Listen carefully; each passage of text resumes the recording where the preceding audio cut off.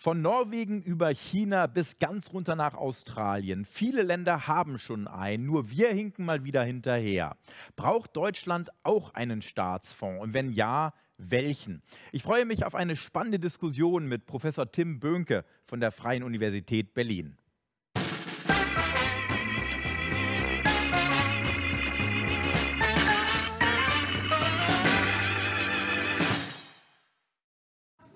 Wir haben ein ähm, spannendes Thema, ein Thema, wenn man sich intensiv darauf vorbereitet, in dem man auch sehr schnell merkt, ähm, dass, es auch, äh, dass es ein Thema ist, in dem man sich schnell verlieren kann. Man redet von Staatsfonds, von Bürgerfonds, von Zukunftsfonds.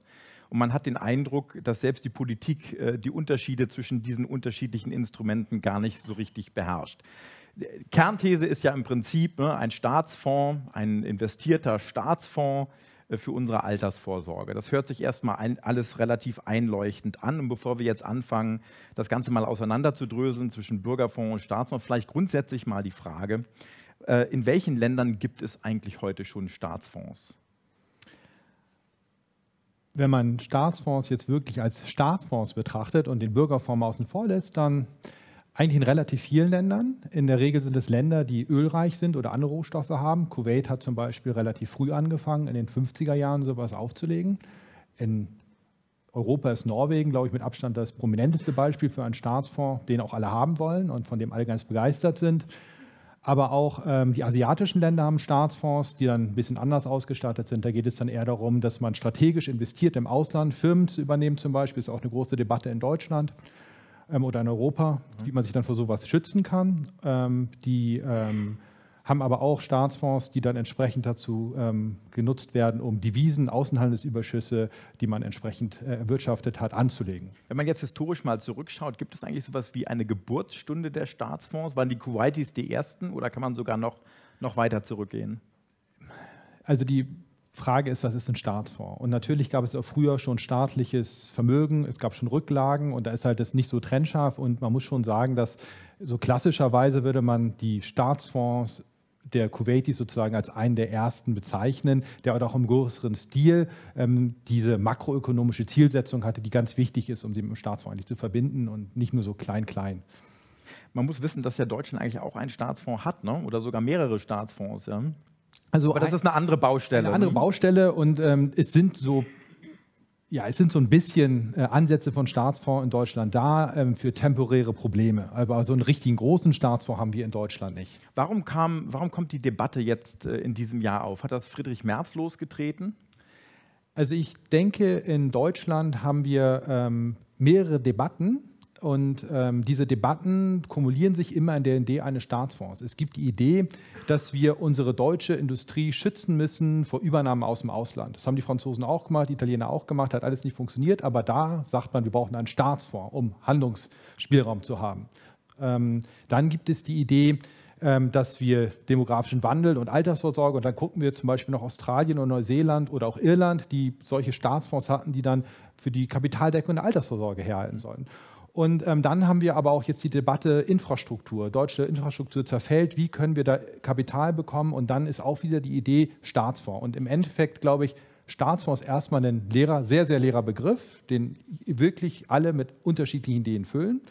Und ja, wenn wir uns jetzt, du hast äh, für die Bertelsmann Stiftung vor einigen Jahren schon das Thema Staatsfonds mal untersucht, du hast dir die globalen unterschiedlichen äh, Modelle angeschaut. Ähm, gibt es ein globales oder mehrere globale Modelle, bei der du sagst, das könnte eigentlich für Deutschland funktionieren? Also man muss beim Staatsfonds sehen, also erstmal, wie verwalten wir so einen Staatsfonds? Und dann kann man natürlich sagen, die Norweger machen das ziemlich gut. Da würde ich sagen, die haben eine Idee, wie man ähm, auch dann vielleicht noch unter entsprechenden gesellschaftlich gewünschten Rahmenbedingungen, zum Beispiel ethischen Investments, sowas investiert. Und das kann man machen. Das ist interessant. Du trennst auch sehr bewusst zwischen diesem Aspekt der Verwaltung und auf der anderen Seite den Aspekt auch der Finanzierung. Und ich glaube, das scheint bei dem Thema Staatsfonds auch ein ganz großer Unterschied zu sein. Die Norweger haben Energie, haben Öl, haben Erdgas. Die Deutschen ne, haben sind smarte Menschen. ja, Gott, ich meine, wir haben Autos, ne, wir sind im Maschinenbau gut, ne, wir haben tolles Bier, ne, können die Norweger nicht mithalten. Ne. Aber ähm, bevor wir eintauchen in diese Thematik Finanzierung und Verwaltung, ja, ähm, wir haben vorher schon kurz gesprochen und äh, wir haben die Grünen angesprochen. Die Grünen sagen, also sie wollen einen Bürgerfonds. nach dem norwegischen Modell haben. Aber die Norweger haben doch gar keinen Bürgerfonds. Genau. Versteht die Politik gar nicht, worum es geht? Das ist ja nichts Neues. was, was, was fehlt dir in der Debatte? Du bist Wissenschaftler, du bist auf diese Themen mit fokussiert. Was fehlt dir in der politischen Debatte? Also ich will ja nicht sagen, dass die Grünen mit ihrer Idee falsch sind oder dass die äh, Merz mit seiner Idee ähm, falsch liegt. Aber was in der Debatte einfach erstmal, glaube ich, fehlt, ist eine klare Systematisierung. Wissenschaftler lieben Systematisierung, ist auch super langweilig und so weiter. Aber in diesem Fall, glaube ich, ganz hilfreich. Weil ähm, es geht nämlich immer darum, ähm, wenn wir die Debatte Altersvorsorge haben, dann brauchen wir eine ganz andere Modelle, als wenn es um Infrastruktur oder Abwehr von chinesischen äh, Übernahmen oder sonst was geht. Also insofern muss man, glaube ich, ganz klar sagen, was wollen wir, was ist das Ziel? Wenn wir wissen, was das Ziel ist, welche Instrumente haben wir schon in unserem institutionellen Gefüge, die wir benutzen können? Haben wir Erfahrungen, auf die wir zurückgreifen können? Gibt es Erfahrungen in anderen Ländern, die ähnliche Probleme haben und gute Lösungen anbieten können? Und da muss man sagen, dass der Staatsfonds im klassischen Sinne, wie der norwegische Staatsfonds, eigentlich jetzt kein Vorbild sein kann für Warum? Deutschland, weil die? Voraussetzungen einfach ganz andere sind. Ähm, und ich glaube, dass diese Idee Staatsfonds also dieser klassische Staatsfonds, wenn man, wie er eigentlich besetzt ist, wie die Wissenschaft ihn versteht, ähm, eigentlich als bewusst als Marketinginstrument oder Schlagwort benutzt wird, aber äh, deswegen die inhaltliche Debatte äh, sehr konfus geführt wird. Wenn man sich jetzt die Historie mal anschaut, selbst die jüngste Historie anschaut, äh, bleiben wir kurz bei dem Begriff des Staatsfonds, dann sieht man, dass ähm, äh, also bei uns in Amerika sagt man immer, wenn die, der Staat kommt und sagt, I'm from the government and I'm here to help you, sollte man relativ schnell die Flucht ergreifen. Ne? Besteht nicht die Gefahr, dass äh, bei einem Staatsfonds, wie sie zum Beispiel auch Irland hatte, die Regierung nicht irgendwann, wenn Schmalhans Küchenmeister herrscht, mal sagt, naja, wir haben doch einen Staatsfonds, bedienen wir uns doch eigentlich an den Geldern dort und stopfen mal die Haushaltslöcher? Also genau das ist ja in Irland passiert. Und ähm, zwar zu unserem Glück, zum Glück der Deutschen, muss man sagen, oder der Europäer und weil wir nicht der Weltgemeinschaft, müssen, ne? weil die, ähm, das ging um Bailing Out von Banken. Und die Iren hatten einen Staatsfonds, einen Pensionsfonds, wo es wirklich darum ging, ähm, Geld für die Altersvorsorge der Bevölkerung zurückzulegen und daraus eine kapitalgedeckte Rente zu finanzieren. Und dieser Staatsfonds wurde auch unter Auflagen der internationalen Gemeinschaft dann dazu benutzt, einen Teil ähm, der entsprechenden ähm, Folgen der Finanzkrise für Irland zu finanzieren. Und das muss man jetzt sagen, für das Ausland war es gut. Es ist auch gut, dass die Iren was zurückgelegt hatten. Es ist nun nicht da angekommen, wo es eigentlich ankommen sollte. Und da muss man schon, glaube ich, denken, dass wenn wir ein Altersvorsorgesystem haben, was in einem Staatsfonds investiert ist, dann ist das Vermögen immer dem Zugriff der Politik ähm, nicht vorenthalten. Also die kommen halt darauf zugreifen. Und Irland war ja im Prinzip nicht ein Einzelfall, sondern es gibt viele Beispiele, in denen die Staatsfonds immer mal wieder angezapft wurden. Es gibt viele Beispiele, wo staatliches Vermögen, was für gewisse Zwecke eigentlich zurückgelegt worden ist, für andere Sachen herhalten musste. In Deutschland hatten wir auch eine Kapitaldeckung in der Rentenversicherung. Die Rücklagen wurden sukzessive abgebaut. Ähm, wir haben ähm, in anderen Ländern auch Beispiele, ähm, wo wir dann entsprechend den Staatsfonds als Vermögen dann für andere Aufgaben rangezogen haben. Und auch die Norweger benutzen ihr Vermögen, um Haushaltslöcher nicht zu stopfen, aber ihren Haushalt zu finanzieren was bei denen aber gar kein Problem ist, weil es ist halt Ölgeld. Ne? Also da muss man halt auch unterscheiden. Das fehlt da nicht für die Zukunft. Gibt es denn eine Möglichkeit, äh, dem vorzubeugen, dass der Staat nicht die Möglichkeit hat, solche Mittel anzuzapfen? Und dann sind wir nicht mehr beim Staatsfonds. Dann sind wir eigentlich bei dem, was wir als Bürgerfonds bezeichnen. Und ich glaube, das ist auch das, was ähm, wir vom IFO-Institut, von Clemens Fußt hören oder von Friedrich Merz oder jetzt auch von den Grünen, ähm, die das dann manchmal Bürgerfonds oder Deutschlandrente oder irgendwie anders nennen. Und da geht es darum, dass zwar ein staatlich verwaltetes Vermögensprodukt da ist, aber jedes Individuum einen Rechtsanspruch auf das Geld hat, was da drin gespart wird. Das ist also ein staatlich verwaltetes individuelles Vermögenskonto. Mhm. Und damit habe ich das Problem nicht. Dann habe ich natürlich die Möglichkeit, durch diese Zuweisung einen Rechtsanspruch dafür zu sorgen, dass es nicht geplündert werden kann. Und einen Schritt weiter können wir denken, wir haben Riester. Vielleicht kann man das Riester-System ja vernünftig konstruieren und dann sind wir auch bei individuellen Vermögenskonten. Und dann ist die Frage, brauchen wir Bürgerfonds, brauchen wir Staatsfonds oder ist es einfach eine Idee, jetzt in der Politik eine verfahrene Situation zu punkten? Könnte man nicht sagen, dass also die Idee von Riester war ursprünglich eine gute, aber ist letztendlich gesehen vor die Wand gefahren. Ne? Riester ist jetzt nicht unbedingt die größte Erfolgsgeschichte, die Deutschland hier auszuweisen hat. Ja. Ähm, aber ist das nicht ein gutes Beispiel, dass vor allen Dingen dieser Entstehungsprozess dieses Gedankens wichtig ist, weil wir den Grundstein für das legen, was, in die was uns in der Zukunft helfen soll? Wenn wir uns wirklich jetzt auf das Altersvorsorgeproblem konzentrieren. Demografischer Wandel, wenn wir sagen, äh, wir brauchen eine Kapitaldeckung, wir sagen in Deutschland, der Großteil der Bevölkerung investiert kaum an Kapitalmärkten. Wir wissen, dass wir ähm, für eine alternde Bevölkerung, die demografisch Wandel unterliegt, das Beste, was wir machen können, divers im Ausland zu investieren, um entsprechende Kapitalerträge ähm, sozusagen ähm, zu sichern. Das ist dann der norwegische Gedanke im Prinzip. Das ist der norwegische auch, ne? Gedanke, also, der schwedische Gedanke, der dänische Gedanke. Man muss dazu übrigens dazu sagen, ne, also auch für unsere Zuschauer, dass die Norweger und Schweden beide auch eine sehr hohe Aktienquote haben. Also ich glaube, die Norweger und Schweden haben beide über 80 Prozent Aktiengewichtung äh, in ihren Portfolien drin, im internationalen Aktienmarkt quasi. Ne? Ja. Nur zur Erklärung. Ja, genau. Und, ähm, und wenn das wirklich die Idee ist, dass man es schafft, diese Teilhabe an Vermögen und Vermögensströmen ähm, in der breiten Bevölkerung ähm, zu ähm, organisieren, dann ist natürlich ein Bürgerfonds eine spannende Geschichte. Man muss aber dazu auch sagen, das sind zwar staatliche Produkte, also staatlich organisierte Anlagen von Aktien in Norwegen, aber das machen private Fondsfirmen für die. Ich wollte gerade fragen, also, also der Gedanke, dass jetzt Olaf Scholz auf einmal mein Vermögen verwaltet, würde mir Gänsehaut geben. Ja? Äh, also ich halte, ne, das ist jetzt nicht unbedingt ja. der beste Finanzminister, den wir jemals hatten. Persönliche Meinung jedenfalls nicht wahr. Aber äh, wer würde denn dieses Geld verwalten? Was ist wichtig an dieser Entscheidungsstelle? Also wir haben ja äh, Beispiele für staatlich verwaltetes Vermögen in Deutschland, zum Beispiel in den Pensionsfonds und die Bayern machen das zum Beispiel und die underperformen alles, was es gibt. Und da ist die Frage, wollen wir das? Und, ähm, also sollten wir es den Bayern nachmachen sozusagen, obwohl die Bayern ja sonst immer sehr gut sind in Sachen Wirtschaft. Naja, das sind natürlich auch die Rahmenbedingungen, unter denen dann so ein bayerischer Finanzbeamter sowas machen darf. Aber da ist natürlich keine Erfahrung da. Und man muss dann schon sehen, dass diese Erfahrung, im internationalen Kapitalmärkten gut zu investieren, eventuell nicht unbedingt äh, deutschen Beamtenstuben ist ähm, vielleicht auch noch nicht mal in der Bundesbank. Die haben auch andere Sorgen oder andere Aufgaben, sondern da muss man einfach sagen, wir wollen ja, ähm, dass, ähm, die, dass die deutsche Bevölkerung an dem Teil habt, was halt sonst die obersten 10, 5 Prozent in der Bevölkerung eh schon machen. Und die haben keine Beamten, die ihre Portfolios verwalten, glaube ich zumindest nicht, sondern die ähm, verwalten, lassen das halt von Spezialisten verwalten. Und man muss halt mit einer großen Masse an Vermögen hingehen und dies diesen Spezialisten geben. Und so machen es auch die Norweger und das funktioniert ganz gut. Und man kann ja dann Rahmenbedingungen setzen. Wenn ich mir jetzt die politische Debatte in Deutschland mal anhöre und die vielen verschiedenen Modelle, die vorgeschlagen werden aus der Politik, wie groß ist denn die Gefahr, dass äh, die Politik das macht, also die, äh, die jeweilige Partei, was äh, in ihrem politischen Interesse ist und nicht unbedingt im Interesse der, ja, der, derjenigen, deren Geld da letztendlich gesehen drin liegt? würde sagen, das macht jede politische Partei im eigenen Interesse an, nicht im Interesse der anderen unbedingt.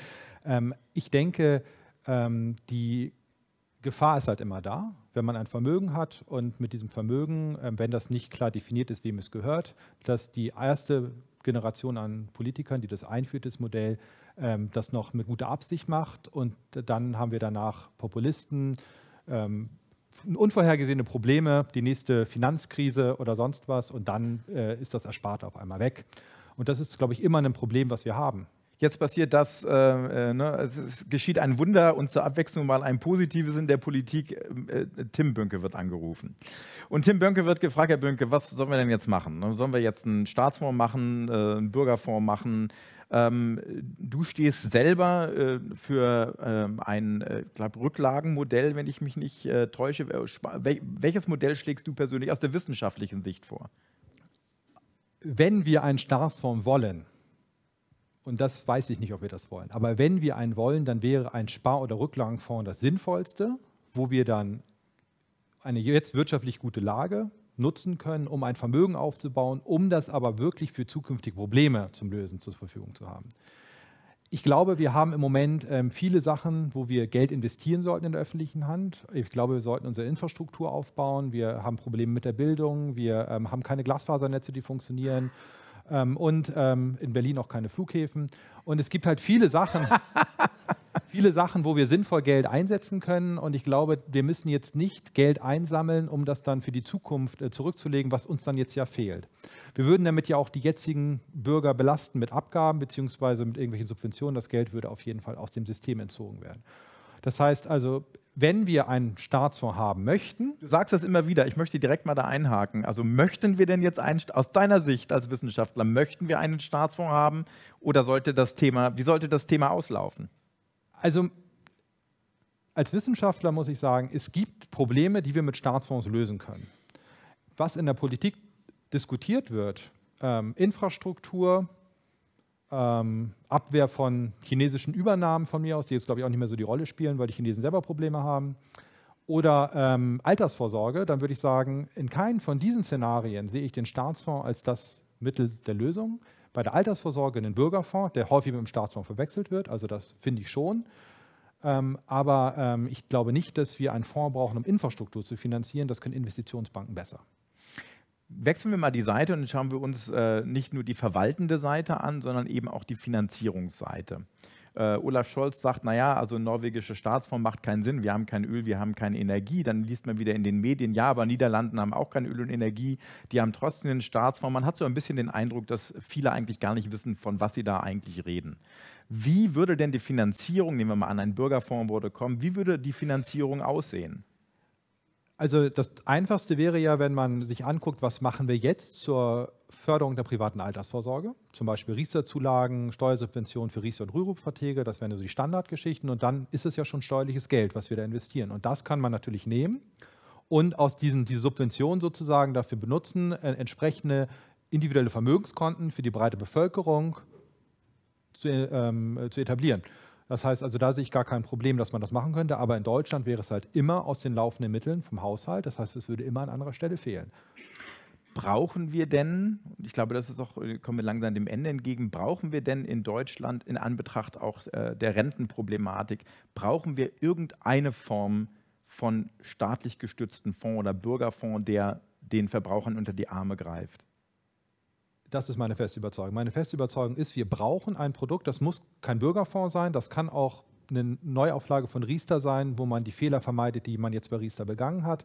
Ich glaube, wir brauchen für die breite Bevölkerung vernünftige Anlageprodukte, denen sie vertrauen, wo sie wissen, dass in der langen Frist sie davon profitieren, dazu investieren um eine Kapitaldeckung in das umlagefinanzierte System für die gesamte Bevölkerung einzuführen. Und eines der Probleme ist auch, Riester ist ja gar nicht für die gesamte Bevölkerung. Und der Bürgerfonds wäre ja idealerweise für die gesamte Bevölkerung. Jetzt hören wir viel aus der Politik zu diesem Thema. Mich würde mal interessieren, aus deiner Sicht, verläuft das alles wieder im Sand und es kommt letztendlich gesehen gar nichts? Oder glaubst du, dass wir tatsächlich, dass diese Diskussion, die wir jetzt haben, tatsächlich zu einer Form von Bürgerfonds führen wird? Ich glaube, wir werden ähm, eine Form des Bürgerfonds bekommen. Ähm, ob das nun ein besseres Riester ist oder eine wirklich ganz neue Sache, das äh, wird spannend. Ich glaube, hier muss man auch sehen, dass natürlich die, ähm, so ein staatliches Produkt, das darf nicht eine direkte Konkurrenz ähm, zu den privaten ähm, Anbietern sein. Und da muss man halt, glaube ich, aufpassen, auch wettbewerbsrechtlich. Das ist halt in Europa gar nicht so einfach, einfach so ein Produkt äh, zu etablieren.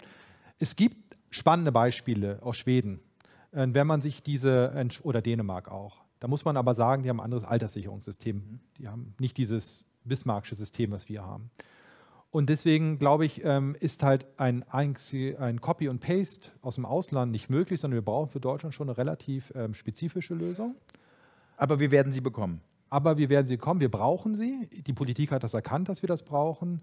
Und wir, die Deutschen investieren einfach zu wenig in Kapitalmärkten. Wir haben keine Kultur. Also der große Teil der Bevölkerung hat keine Kultur. Was ja auch nicht schlimm ist, wenn man sich damit nicht auseinandersetzen möchte. Es gibt ja genug Spezialisten, die wir damit beauftragen können. Und bei genau da muss man ja sagen, brauchen wir halt eventuell solche Produkte, so ein Bürgerfonds, der Vertrauen aufbaut, um zumindest die ein oder zwei Generationen, die jetzt kommen, ähm, an diesen Vorteilen des Kapitalmarkts teilhaben zu lassen und zwar langfristig, ja. weil darum geht es ja. Es müssen langfristige Investitionen sein. Du hast jetzt ja gesagt, im Börsenleben in den 20ern hat man dann in kurzer Zeit so alles mal mitgemacht und das muss man auch aushalten können und dafür sind solche Fondsprodukte natürlich auch das Richtige. Tim, ich sage vielen Dank fürs Kommen. Dankeschön. Vielen Dank.